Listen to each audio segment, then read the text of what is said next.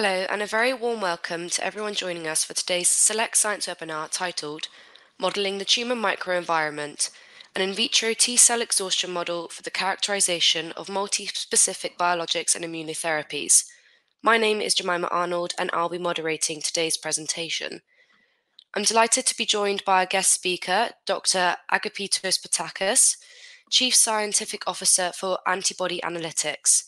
This webinar will, dis will discuss the benefits and limitations of modeling the tumor microenvironment immune cell infiltrate with the in vitro cell-based assay and present a T-cell exhaustion where healthy human donor cells are employed.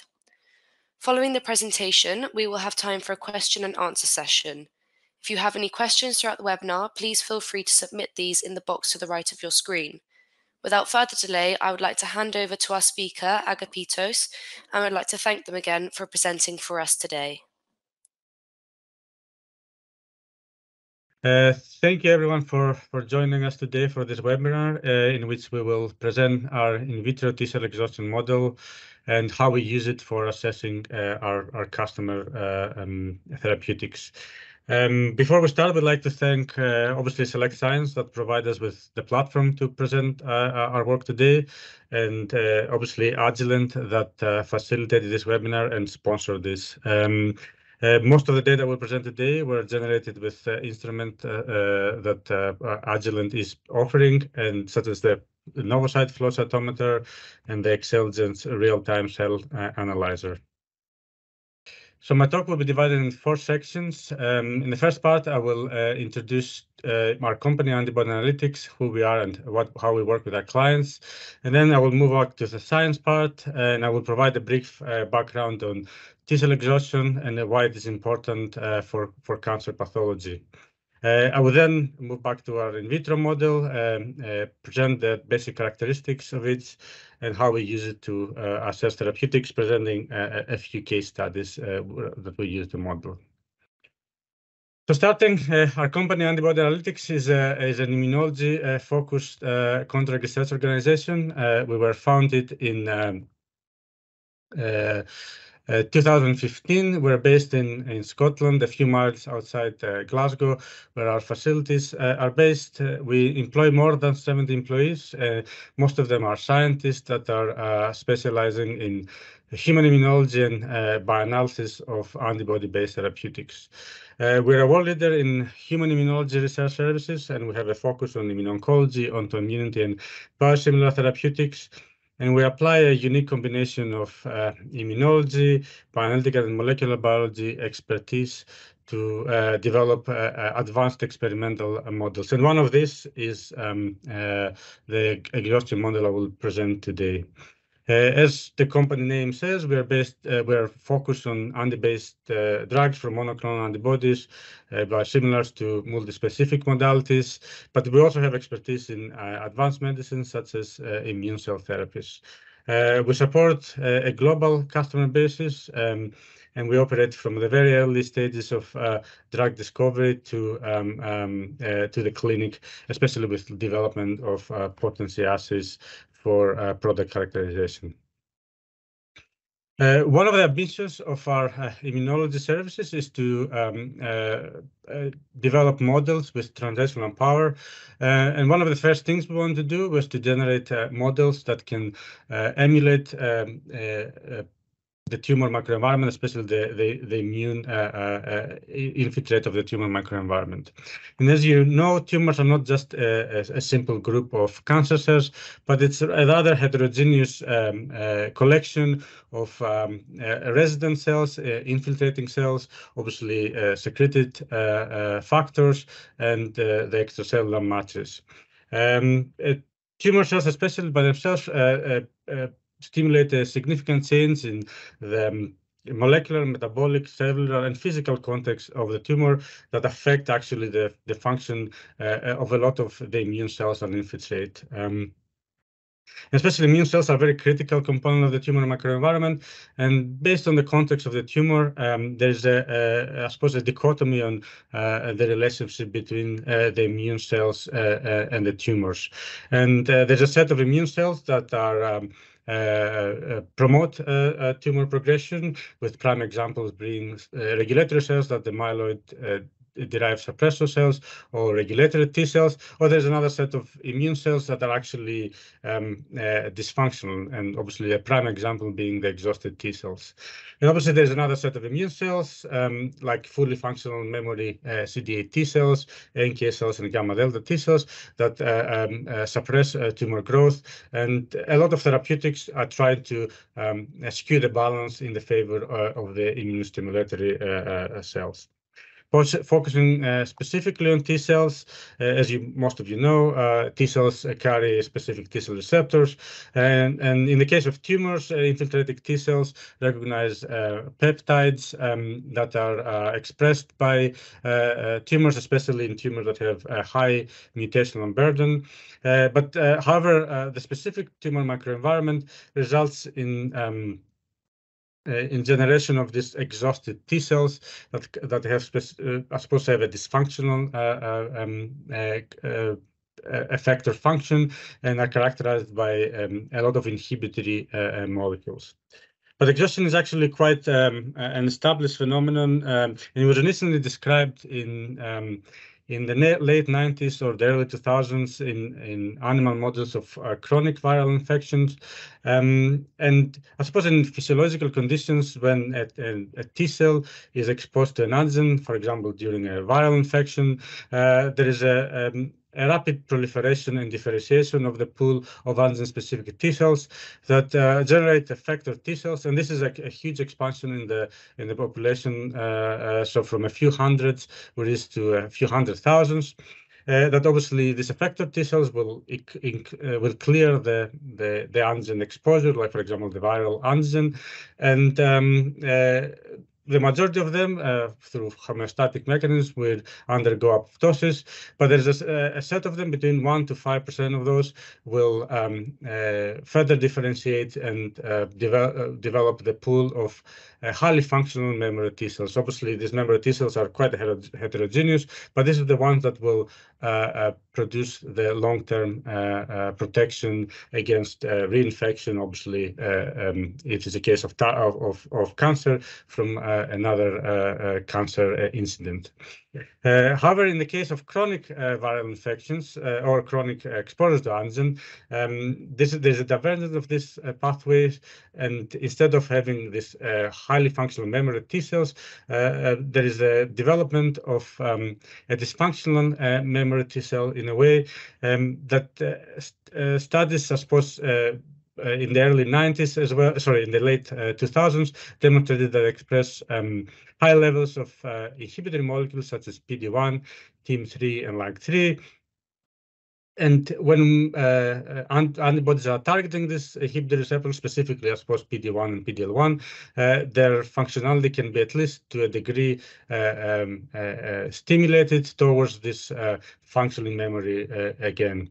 And obviously, this led to a flurry of research in the area, and obviously, with the approval of uh, the PD-1, PD-L1, and I suppose CTLA-4 targeting uh, uh, therapies, it established um, cancer immunotherapy, I suppose, a third pillar of uh, uh, cancer therapy.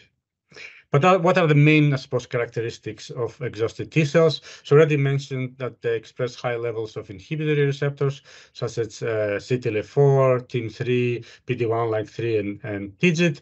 Uh, these receptors uh, carry uh, inhibitory signaling domains that uh, block the signaling initiated by the T cell receptor, but by also other um, uh, co-stimulatory molecules such as CD28.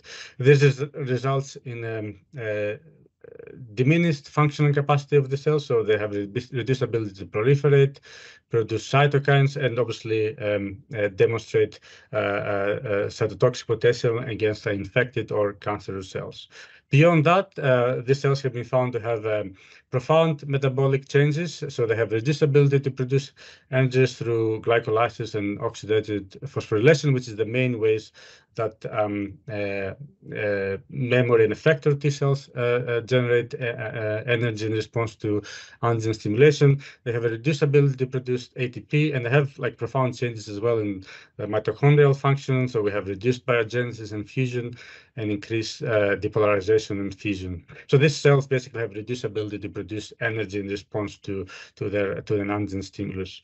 Um, uh, similarly, uh, examination of the uh, chromatin profile, especially in the LCMV infection models, uh, uh, demonstrated that these cells display a chromatin landscape that is uh, very different from effector or um, memory T cells.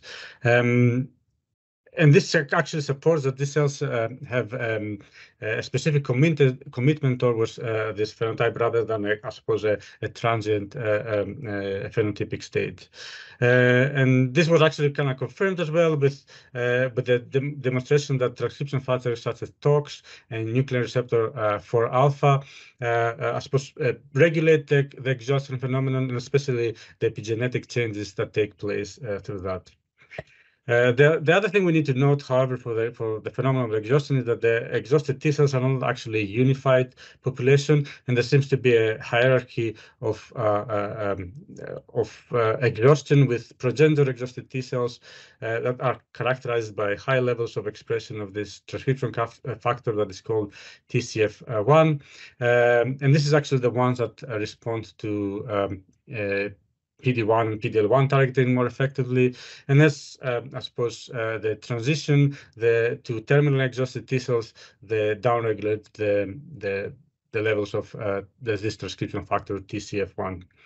Um, but as you can see from this slide, there's multiple areas that um, can be targeted for therapeutic intervention from obviously uh, inhibitory molecules with antibody-based therapeutics to um, uh, metabolic reprogramming or changes in the epigenetic uh, landscape of these um, uh, cells. So um, models are required to assess like different therapeutics and obviously discover um, uh, novel targets uh, uh, that are targeting the phenomenon of T cell exhaustion. So in the mouse setting, there obviously, as I mentioned before, uh, most of the um, um, characteristics of exhausted T cells were initially established in mouse models, with the LCMV model being the most prominent. And this is based on employment of different strains of LCMV, with clone 13 um, uh, strain uh, initiating a chronic infection uh, that is characterized with exhaustion antigen-specific T cells, um, whereas the Armstrong strain uh, in inducing an acute infection that is characterized by highly functional uh, um, uh, effector and memory T cells against uh, LCMV. Obviously, syngeneic, syngeneic tumor models are also uh, uh, very important, and a lot of uh, they have been characterized, uh, exhausted T cells have been identified in uh, tumor infiltrates and have been obviously used to assess therapeutics in this setting. Um, and obviously, we need to note that there are actually differences between uh, exhausted T cell generating generated as part of a chronic infection or uh, as a tumor, again, due to the peculiarities of the tumor microenvironment.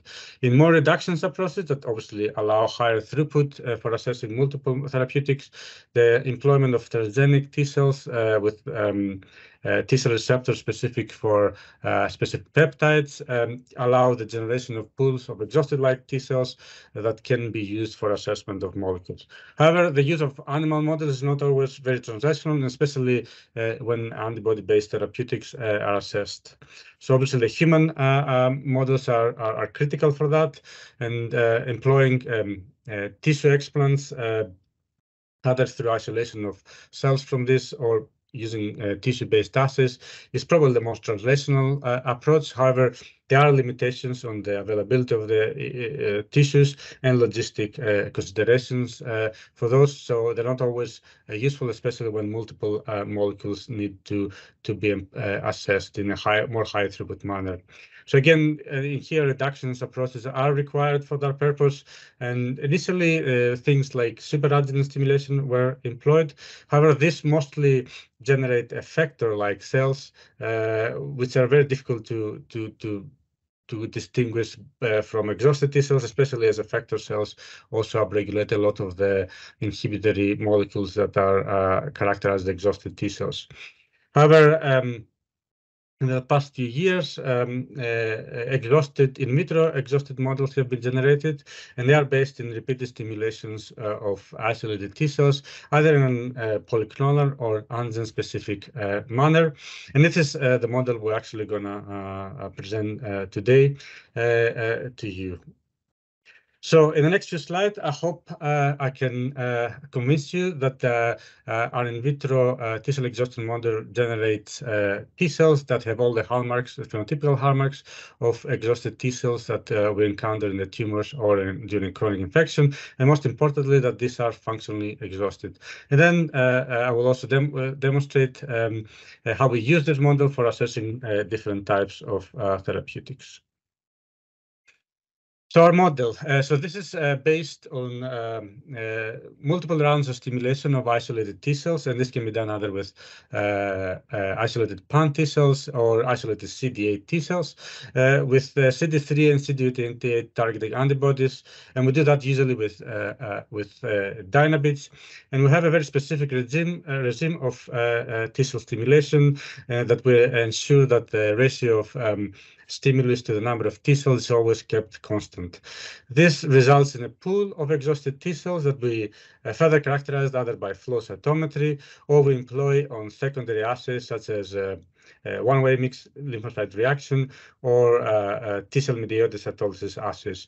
Um, and I will uh, kind of show you examples of data for that. So the first thing uh, we did when we established the model is to characterize the cells for the expression of different uh, in, inhibitory molecules. And this is flow cytometry plots. We generate that by using our Quantion uh, 4025 flow cytometer that is uh, uh, offered by, by uh, Agilent.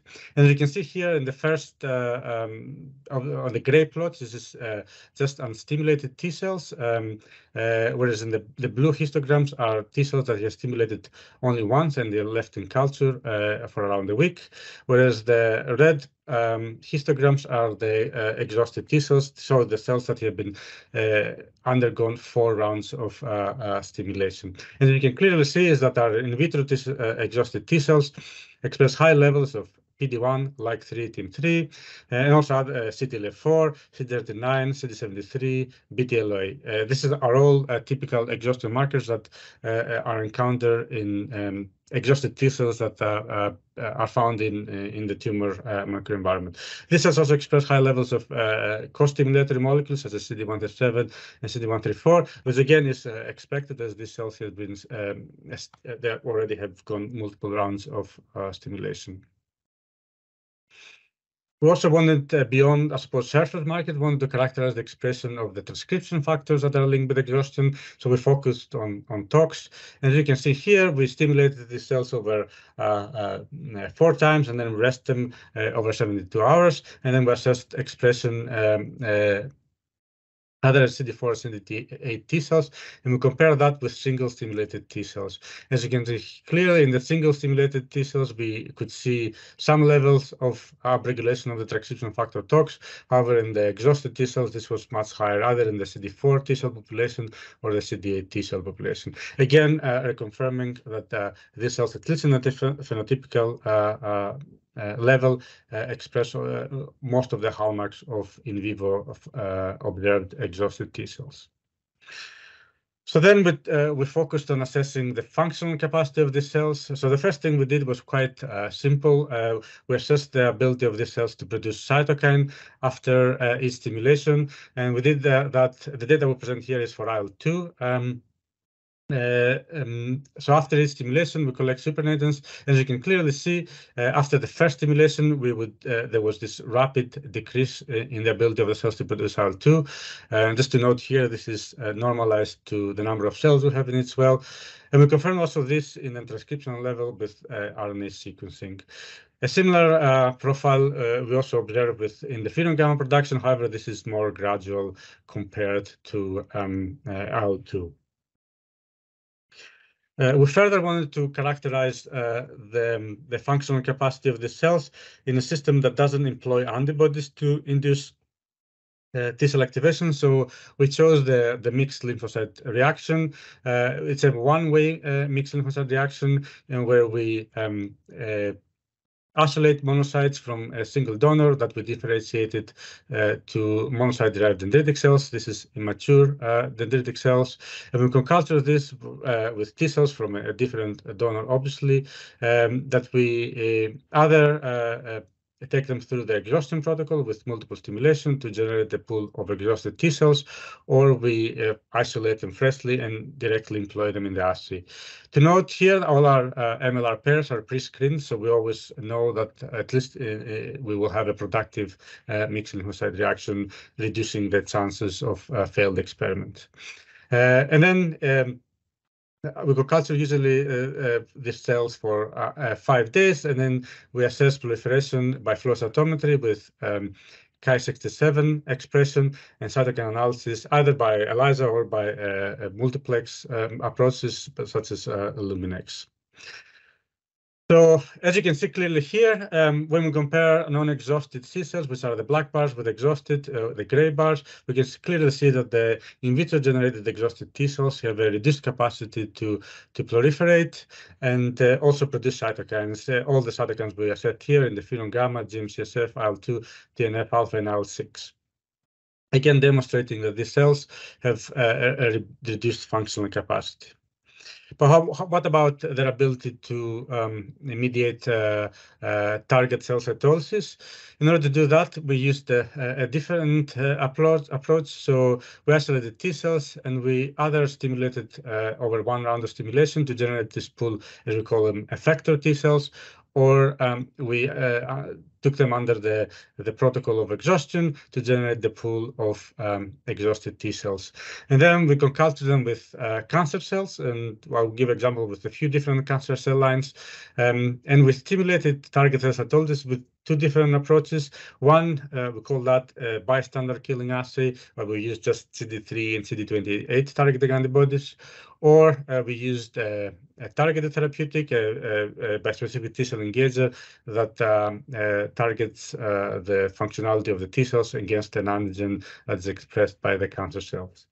Um, we usually use the Excelgen system uh, for uh, measurement of killing, and I would like to spend a, a couple of meaning, uh, minutes um, explaining the system. Um, so the Excelgen system uh, employs uh, 96 well plates, at least the MP system we use in our labs, uh, that are coated with a, a, gold electrode. So when we add uh, our cancer cell lines, uh, adherent cancer cell lines, this will um, uh, obviously adhere in the bottom of the plate. And as they adhere, they will impede the small electric current that goes through these gold electrodes. Uh, the advantage of the system is that when we add our effector cells, the T cells support in this case, um, they don't uh, produce any signal because they don't adhere in the plate. However, when the T cells start to kill uh, the, uh, the, target cells, their morphology will change and they will start uh, detached from the plate, uh, which obviously results in a change of impedance that is um, going through the electrodes. And this is obviously measured by the instrument. And with appropriate controls, it can be transformed uh, to a measurement of cytolysis. Obviously, the advantage of this methodology is that it's label free, so it will not require any um, uh, uh, dyes or fluorescent uh, reporter genes to to measure the to to monitor the, the cells. And it's also very simple. We just uh, add the cells, add the uh, effector cells, and we immediately can measure the um, uh, the, the cytolysis. It also provides kinetic data, which is obviously uh, richer data, and as I'll show you in the next slide, provide more information about uh, the, the, the interventions we do, and obviously can be combined with with other readouts. And routinely we we use that with flow cytometry um, uh, to assess uh, activation of the T cells or proliferation, and obviously cytokine analysis. This is, I suppose, one of our workforce uh, methodologies. We use it with conventional monoclonal antibodies for ADCCs, immune cell engagers, obviously T cell therapies, and antibody drug uh, conjugates. So there is the type of uh, uh, data we get from from this assay system. Uh, so this, in this case, we used HeLas as as our target cells, and we induced killing uh, by just adding uh, CD3 and CD28 antibodies, and this is, I suppose, the bystander killing type of assay I mentioned before.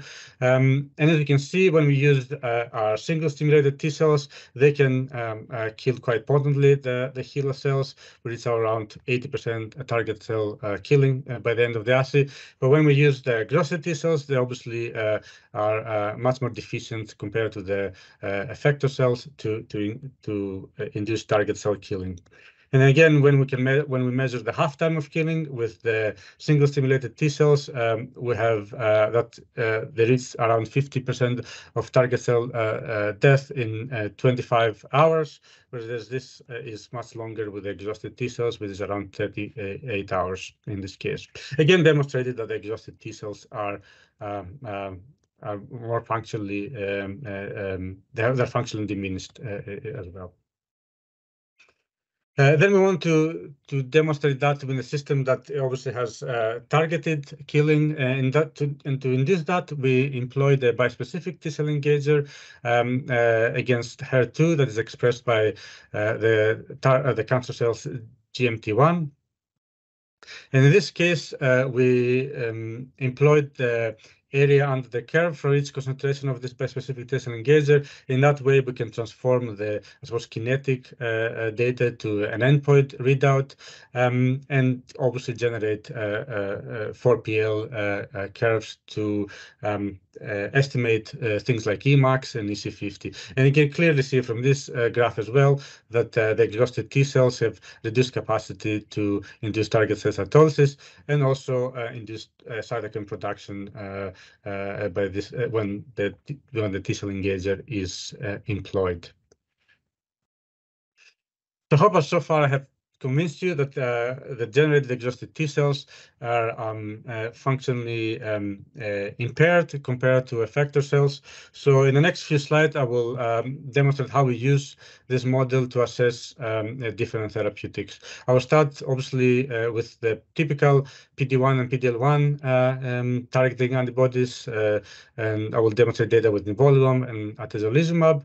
And then I will talk about two, I suppose, case studies. Uh, one that we worked with uh, uh, our, one of our customers, IGM Biosciences, which we employ targeted therapeutics against PD-L1 and IL-15 stimulation. And then we'll go to a different modality, which is a small molecule, which again worked with a different company called Nucleus Therapeutics, and the HPK1 inhibitor. So starting with uh, PD-1 and PD-L1 blockade, um, I mean, uh, there's no need for uh, in-depth introduction. I mean, both anti-PD-1 and anti-PD-L1 targeted antibodies have revolutionized cancer therapy, and obviously resulted to um, for Tasuku Honjo winning the Nobel Prize of Medicine in 2018. Um, so that was the first molecule we introduced in our system to... And this is actually, especially nivolumab, is the molecule that we always use as benchmarking for all our customer uh, projects. Uh, we used our one-way MLR system, and we selected that because uh, uh, one-way, the one-way MLR system is very sensitive to um, PD-1 and PD-L1 blockade, um, and provides excellent readouts. And again, as before, we used the comparison within our exhausted T cell with the non-exhausted T cells. And the first thing we assessed was nivolumab in our system, and we used proliferation and interferon production as our main readouts. And in the left-hand panel, you see um, uh, uh, the typical mixed lymphocyte reaction, which is with non-exhausted T cells. And you can see in the case of proliferation, um, we see a very modest effect in the highest concentrations of uh, nivolumab.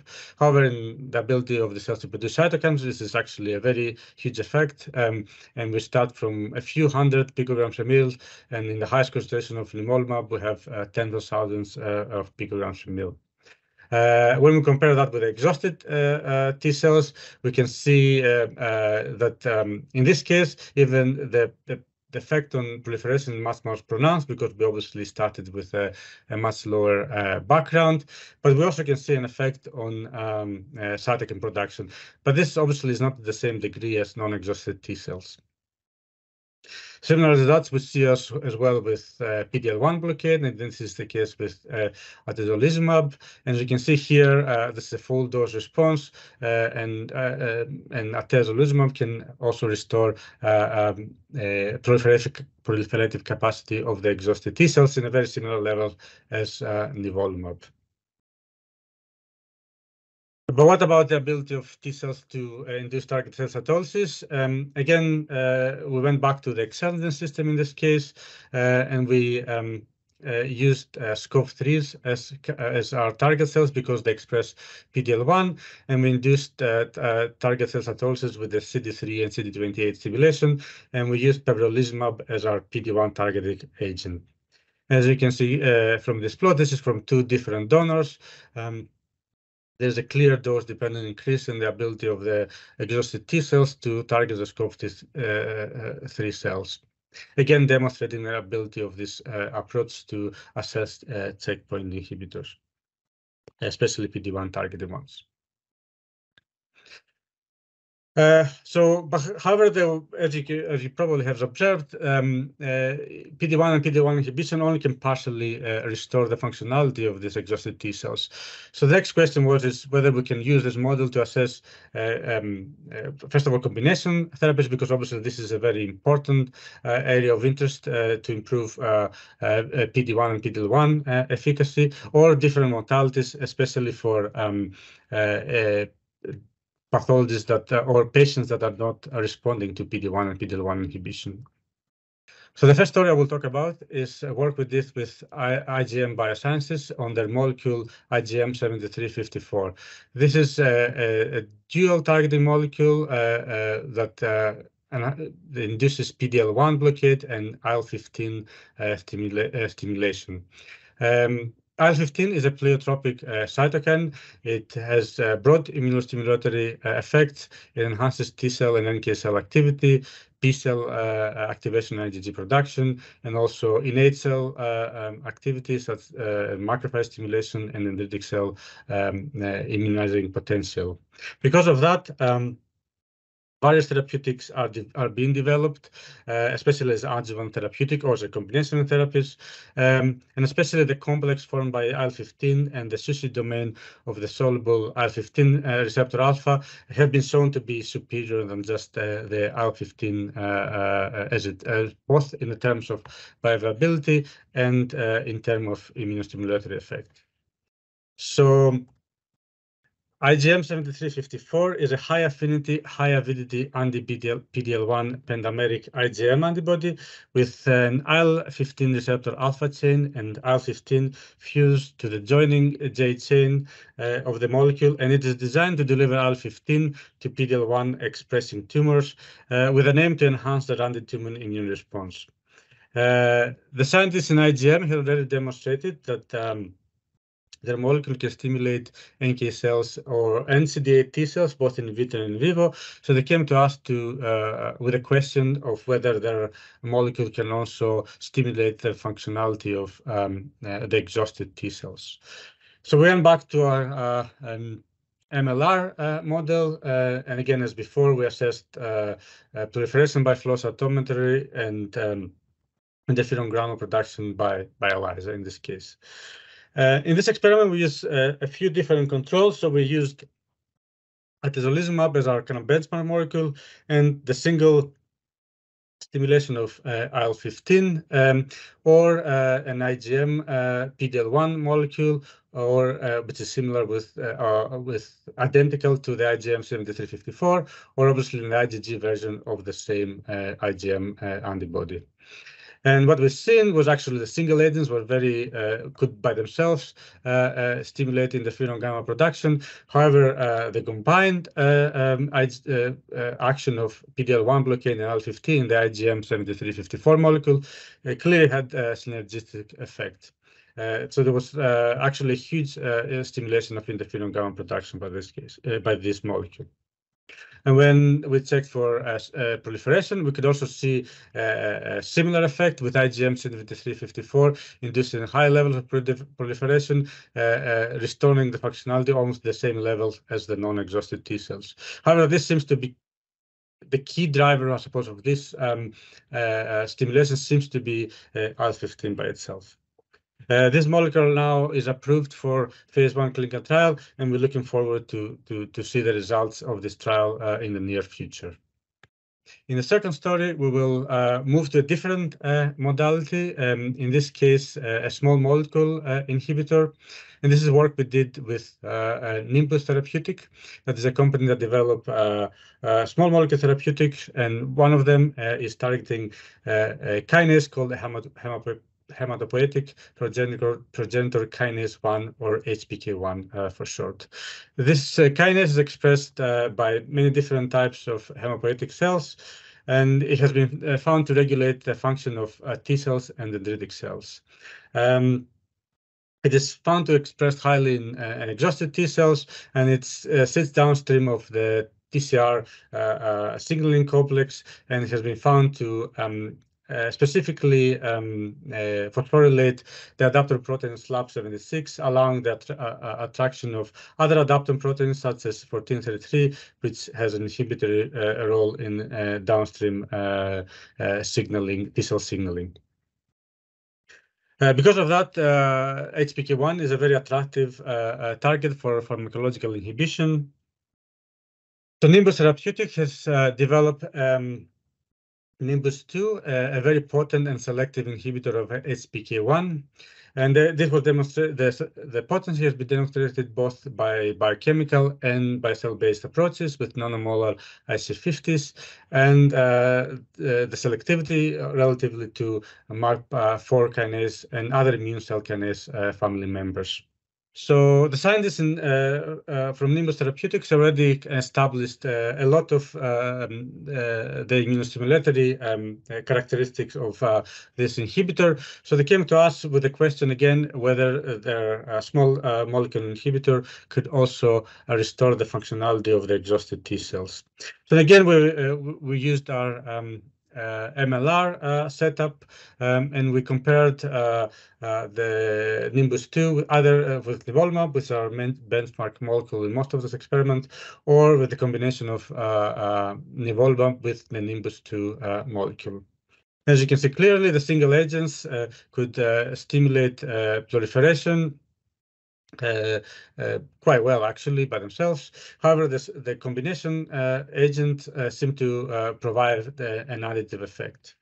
And when we assessed uh, cytokine production, we could also see a, similar uh, response. Actually, we see a synergistic, synergistic effect in this case um, uh, in both interferon gamma and GM-CSF. Again, demonstrated that HPK1 inhibition can restore functionality of the of the exhausted T cell, especially when it's combined with uh, PD1 uh, inhibition. Uh, as with the IgM molecule, uh, this molecule is also approved for uh, for, for for clinical testing, and again, we're looking forward for the result of, this trial as well.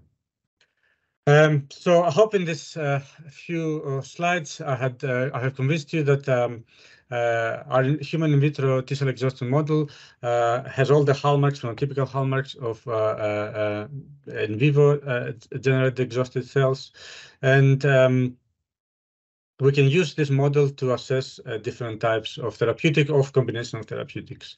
Uh, we have completed multiple projects with this uh, model uh, and assessed different types of therapeutics, and a few of them are already kind of demonstrated today. Uh, and, um, and we believe this is a very relevant uh, uh, model for assessing T-cell exhaustion in an in vitro setting in a relatively high throughput manner. But this is just a snippet of the type of work we can do. Um, we can support uh, uh, uh, your drug development uh, program in uh, in many different ways. So please uh, come in touch with us, and we will help you accelerate your drug development program. I would like to thank especially uh, IGM Biosciences and Nimbus Therapeutics that uh, allowed us to use the data today in this in this talk, and obviously Agilent Technologies that uh, sponsored uh, uh, our webinar today, and obviously everybody from Antibody Analytics that uh, did the work in this project and the scientists in our lab specifically. thank you very much for your patience. I'm happy to answer any questions you might have. Thank you for that very informative presentation, Agapitos.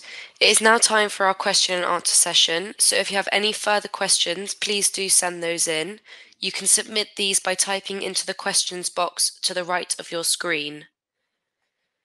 So our first question for you, Agapitos, is can you also generate exhausted T cells with less than four rounds of restimulation? And do you also add IL 2 into your culture besides the Dynabeads for restimulation in vitro? That's, thank you very much for the question. So we well, usually what we do is um, uh, four stimulations, and um, we have tried as well with less stimulations, and you do uh, get a level of um, dysfunction, uh, similar to what I, presented today. Um, and related to the IL-2 questions, we, we actually have compared uh, with the presence and the absence of IL-2, and well, actually the presence of IL-2 doesn't seem to, um, I suppose, reverse uh, uh, the or inhibit the generation of exhaustion. Um, so we don't actually use it in our system. Um, uh, especially, however, if you're like doing like CD8 T cells, potentially the presence of um, IL-2 might uh, increase the viability uh, to a degree, um, but we don't use it in our in our hands uh, in a routine basis. Okay, lovely. Thank you. The next one we have is what do you use as multiple stimulations? Um, so we use uh, well, we have different approaches depending on the setup uh, we, we, employ. But um, for what I demonstrated today, uh, we mostly use uh, Dynabeads uh, that express CD3, uh, that have CD3 and CD28 targeting antibodies. Okay, lovely. The next one we have is Have you comprehensively characterized gene expression profiles of exhausted T cells from your CD3 CD28 repeat stim versus T cells exhausted by chronic exposure to tumor cells or peptide slash MHC? And what data do you have, besides surface expression of canonical exhaustion markers, suggesting that exhausted T cells generated in your model are similar to T cells exhausted in a tumor microenvironment? Um, that's a, actually a very good uh, question. So, um, what we have done actually was um, we have characterized by uh, bulk RNA sequencing um, these cells, and we, I suppose, confirm the um, at least in the transcript level um, uh, the expression. A lot of um, uh, the markers that are related with exhaustion. A few of them we kind of are shown by, uh, I suppose, protein expression via flow cytometry.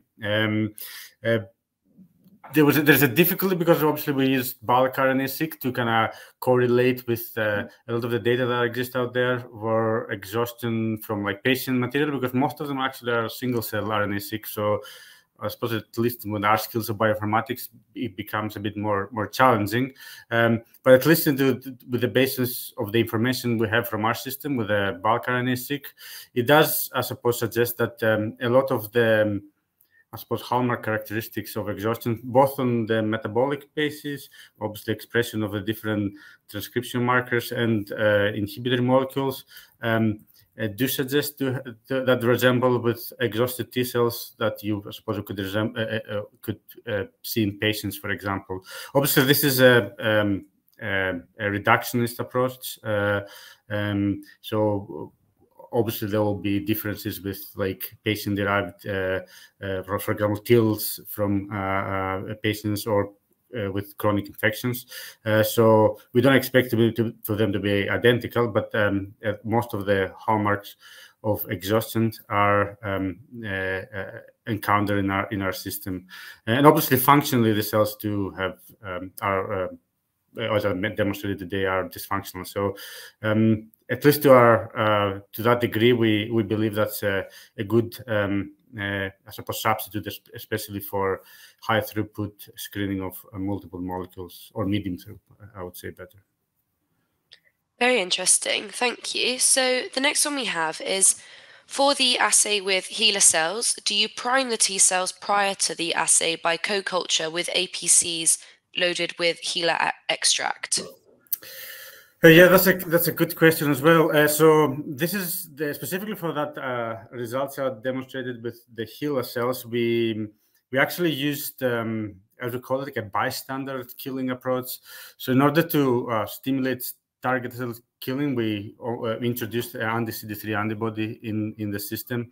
So it's not a targeted approach. Um, uh, for example, by using a, a, a bispecific T cell engager for a target that is expressed by the HeLa cells. Um, so so this is, I suppose, a limitation of that specific system. So now we're moving away from that uh, approach, and we mainly either use something like a bispecific T cell engager, or we can generate CAR T specific, like exhausted T cells. So we have an antigen specific system to a degree that allows us to, um, uh, uh, I suppose, this type of assays, the the targeted killing assays will be more, I suppose, physiologically relevant in a way. Great, thank you. So we have an attendee asking here, what is the best antibody for characterization for exhausted T cells? Um, I mean, for us, if I understand the question, if it's for just characterization, uh, the well, the typical markers we use, uh, at least in all our uh, uh, uh experiments, is minimally we'll use expression of PD-1 like 3 and TIM3. Um, and in some cases, we also incorporate like transcription factors, um, things like TOX or TCF1 antibodies. So a combination of this would provide an element of uh, um, I suppose, uh, information of at least on the phenotype of the cells. But we always use functional characterization as well uh, beyond just the phenotypical, because a lot of these markers are also expressed by activated T cells. So um, the functional characterization is very important uh, in this in this model. Great. The next one is. Would combining this therapy with CAR T cells improve their efficacy against solid tumors? Well, um, well, if I understand that, obviously for for CAR T therapy, it's one of I suppose um, limitations, especially in um, in solid tumors. Uh, it is the, the um, uh, well, the development of uh, uh, exhaustion by the, the CAR T cells. So potentially, either I suppose, as, as I understand, for the type of therapies we demonstrated, um, uh, therapeutics are developed, either the HPK1 inhibitors or I suppose uh, some of the combination therapies, either with IL-15 or PD-L1 blockade. In a theoretical scenario, yes, that that, that there would be potential uh, beneficial as a combination. Um, obviously, there are always the elements of uh, balancing uh, therapeutic, therapeutic efficacy with toxicity. So obviously that needs to be tested in in in the clinic. Useful, thank you. The next one we have is what ratio of T cells to tumor cells do you use? Uh, again, that depends on the the assays we do, the target cell line, and the type of uh, stimulus. For example, like either we use a bispecific T cell engager or a bystander killing. We tend, especially with Excelsior systems, to use uh, as low as we can, so from like one to one to five to one ratios. Um, uh, but that varies between uh, the different type of experiments uh, we do and the different types of therapeutics we, we assess in the, in the system. Great, thank you. So the next one is, do you plan to, to assess the physiological relevance of this model by comparing the cytokine production capacity of stimulated TILs and the putative exhausted T cells from the model? Also, have you checked granzyme level in these levels? Uh, so, uh, so again, uh, we well, there's two, there's a difficulty on comparing side by side uh, uh, these models with the I suppose cells coming from tumor biopsies. So obviously. Um, uh, that would be an ideal scenario. Obviously, we do not have like similar, the same donor. That's kind of challenging uh, uh, to a degree on sourcing these these tissues. But um, we would well there is a, a side-by-side element on like the ability of um, uh, taking the tissue, so taking the tissues and the cells from the tissues, and uh, comparing them with a, a, I suppose a ex vivo reduction approach is not always uh, um, uh, as easy. Um, but we think from from this model is like substituting these approaches and using that and using a, I suppose a TIL approach as a secondary um, I suppose orthogonal approach um, uh, to this. Um, so we haven't actually compared them by side by side, but I think it's a good supplementary methodology to using like TILs and things like that. Beautiful, thank you. The next one we have is Do you think exhaustion is reversible to some level? Well, uh, yes, it is. I mean, there's different levels of exhaustion. There's, um, uh, I suppose I did mention in the talk, um, there is almost like a hierarchical uh, uh, uh approach, suppose um, as the cells exhausted, they downregulate uh, uh, the transcription factor TCF1. But um, obviously with PD-1 inhibition, there's uh, it's kind of clearly demonstrated you can uh, reverse this exhaustion. The big question is whether we can um, uh, address like terminally exhausted T cells that seem to be more resistant to PD-1 and PD-L1 inhibition to a degree and I suppose like um, I suppose some of the combination uh, approaches I mentioned here um, might be, uh, I suppose, a solution uh, to that. But yeah, I, I, do I do believe that uh, uh, exhaustion can be reversed uh, with different approaches. I mean, from the level of like blocking inhibitor receptors to changing the epigenetic kind of landscape of the exhausted T cells to changing their ability to use energy as well. Great, thank you. Um, we have an attendee asking whether you have tested metabolic reprogramming in the exhausted and restored cells. So we have uh, used um, molecules. Unfortunately, because it's client molecules, I cannot say more details. But we have did, used uh, this type of molecules in the system with quite interesting results. Um, so yeah. Lovely. The next one we have is Do you have any data with increasing the length of time between restimulation and whether longer periods allow for the same level of resilience to exhaustion?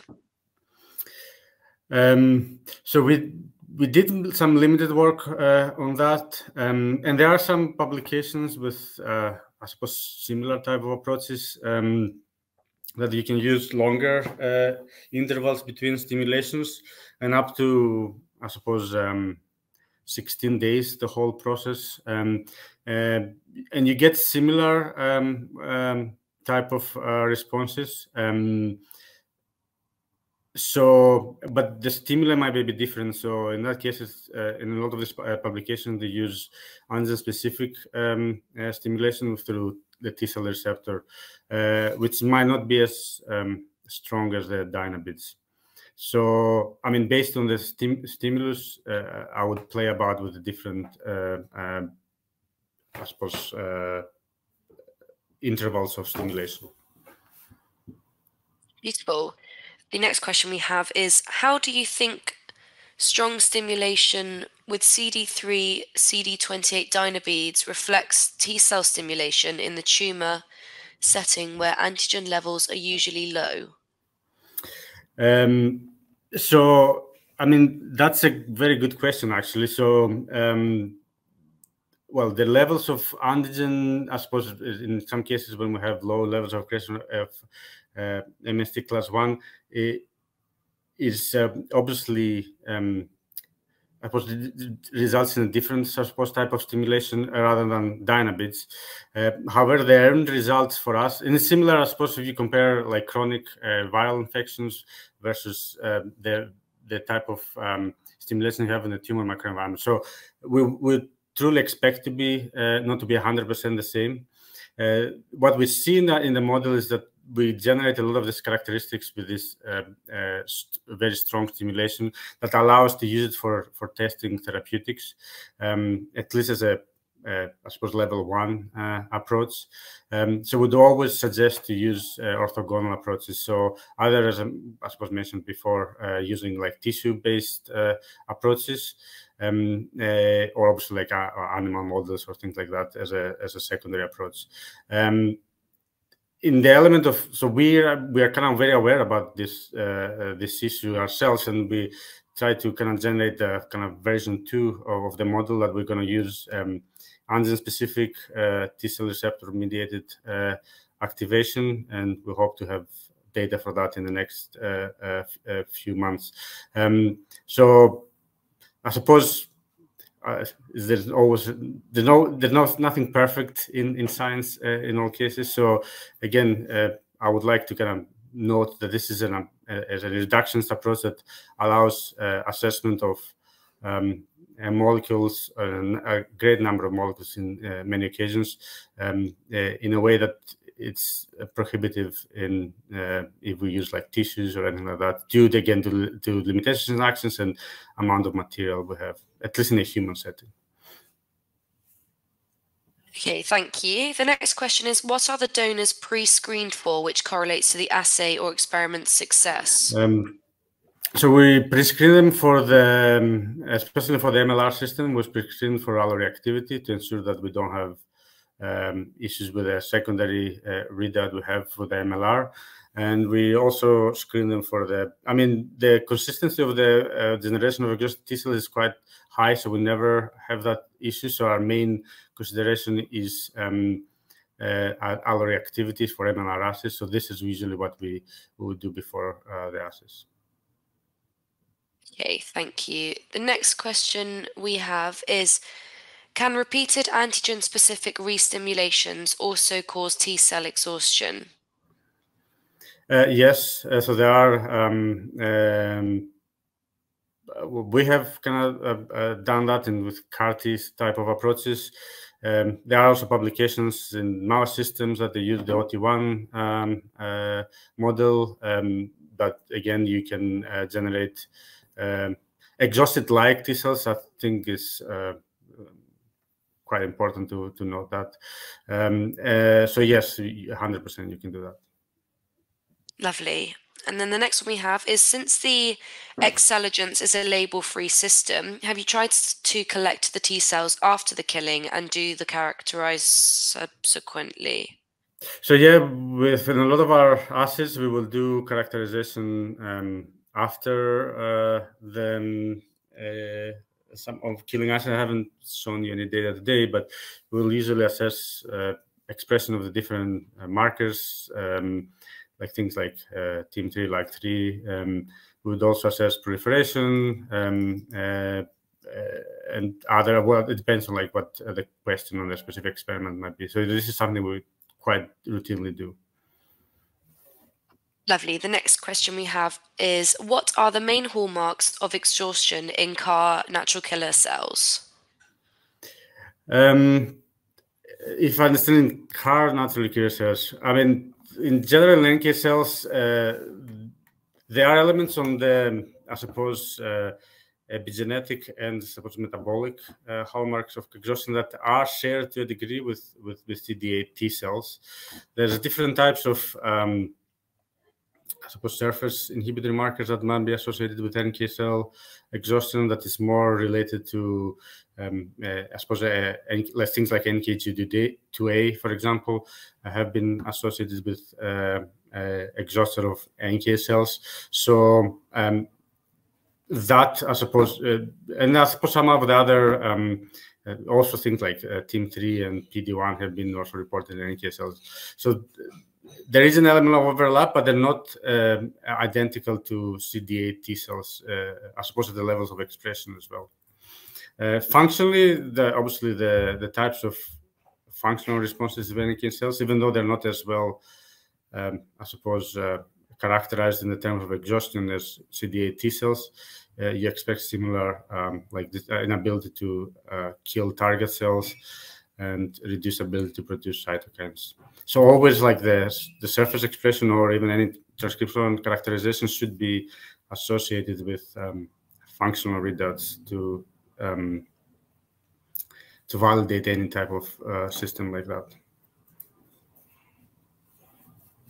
Okay, and then quickly for our last question, what is the timeline used for the repeated stimulation? Um, again, this differs depending on what type of uh, question we want to answer. The usual thing we will do is we stimulate the cells every two to three days um, for about for four rounds of stimulation um, before we introduce them in any uh, assays. Okay, lovely. Well, that's all we have time for today. I would like to thank our expert speaker, Agapitos, for the informative presentation and discussion, and a big thank you to everyone joining us online. We hope you have found this a worthwhile session. If you have any further questions, please feel free to email me at editor at selectscience.net and I will follow up with your questions for our speaker. Remember, you can download rela related resources in the tab to the left of your screen, and this includes the certificate of attendance. If you would like to listen again to today's webinar or invite a friend to listen, it will be available to watch on demand in just a few days. Goodbye, and thank you once again for joining us.